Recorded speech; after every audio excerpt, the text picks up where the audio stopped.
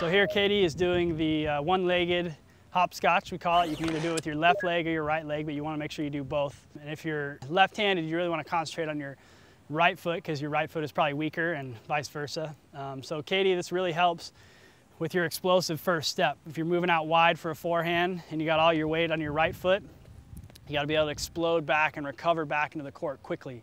So by strengthening and isolating one foot at a time for working on explosion, that first quick step, this is totally gonna strengthen that side of her body. Not just her leg, but her core too, because you can see she's still in her upper body, so she's stabilizing her core, she's doing it. And you can also do it in a different variation where you go from just like the Ickey shuffle, but do it on one foot. So she's gonna go in, in, out, in, out, in, out, in, out.